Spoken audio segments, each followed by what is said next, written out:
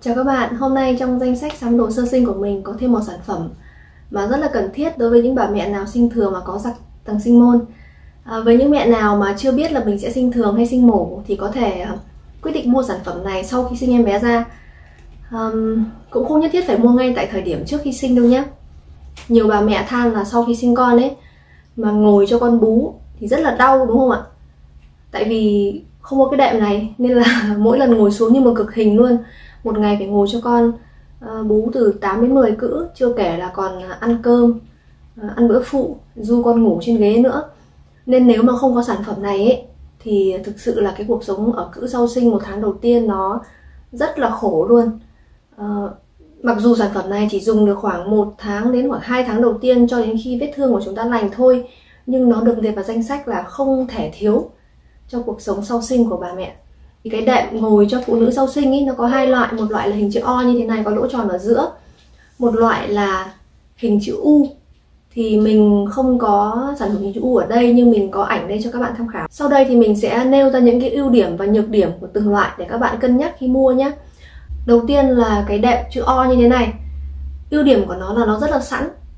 Các bạn có thể thấy nó ở các shop ờ, con thỏ hoặc là Akasang Hompo và khi lên Amazon thì nó có vô vàn các thương hiệu bán sản phẩm này. Và giá thành của nó cũng khá là rẻ. À, theo đánh giá của mình nó chỉ rơi vào khoảng từ 1.500 yên cho đến 2.700 yên là cùng thôi.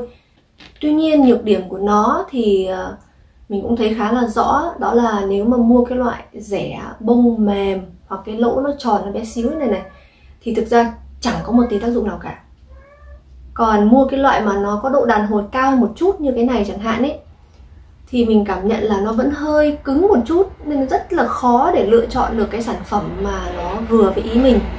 Hơn nữa khi mà chúng ta ngồi xuống ấy thì ờ, tùy cái kích thước mông của từng người ấy à, nếu mà nó không khít được vào cái lỗ tròn như này tất nhiên là mua lỗ càng to càng tốt rồi nhưng có những trường hợp mà nó không không vừa vào cái lỗ này ấy à, mà nó lại ép ngược trở lại vào phần mông ấy, nên vẫn gây đau một chút khi ngồi xuống. Đấy là nhược điểm của cái gối này. Nhược điểm thế tại sao mình vẫn mua? Đây không phải sản phẩm của mình đâu, đây là chồng mình mua cho đấy. À, tiếp theo là mình sẽ giới thiệu cái ờ, ưu điểm và nhược điểm của gối chữ U nhé thì ưu điểm của nó mình thấy rất là rõ ở chỗ đó là nếu chúng ta ngồi mà không khớp được cái vòng tròn ấy, thì hai bên cái cánh của chữ U nó sẽ mở ra. Nó sẽ giúp cho cái phần mà bị rạch ấy nó không va chạm vào cái phần nào của cái gối đấy cả. Nên là sẽ thấy ít đau hơn so với cái gối chữ O. Nhưng mà nhược điểm của nó thì tất nhiên là tiền rồi. Nếu như đệm chữ O có giá thành từ khoảng 1.500 yên đến 3.000 yên, thì cái đệm chữ U này có giá đắt hơn hẳn. Rẻ nhất cũng là 3.700 cộng tiền ship còn giá bình quân của nó vào khoảng 5.500 yên này. Một số loại thì 5.900 thậm chí lên tới 7.000, 8.000 yên rất là đắt đúng không ạ?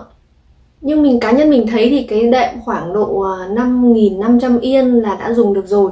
Trong cái đệm chữ U này nó lại có hai loại khác nhau. Một loại là các bạn thấy là nó chỉ có hình chữ U như thế này thôi. Một loại nữa đó là nó có thêm cái đai nữa. Thì cái đai này để ngăn cho việc là mình ngồi lún quá sâu mình lại chạm vào cái nền ghế nó cũng gây đau đúng không? Ờ, tùy vào cái khối lượng của cơ thể. Ví dụ như mình lúc sinh xong mình chỉ nặng có 53 kg và cái đệm mà không không cần đai mình vẫn thấy vẫn dùng được. Lưu ý khi mà chọn cái đệm chữ U này đó là các bạn phải xem cái độ dày của nó. Mình thì không được nặng cân lắm, cho nên là độ dày khoảng độ 5 cm với mình vẫn rất là ổn. Nhưng với những bạn nào mà có cân nặng nhiều hơn ấy, thì phải cân nhắc mua sang cái loại đệm mà có độ dày từ 7 cm thì sẽ được ít bị lún hơn. Thì hôm nay giới thiệu về sản phẩm đệm chữ U nó chỉ có vậy thôi.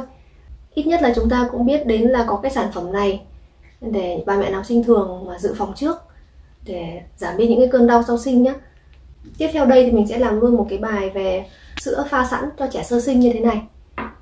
Các bạn nếu quan tâm thì à, xem ở video tiếp theo nhé cảm ơn các bạn.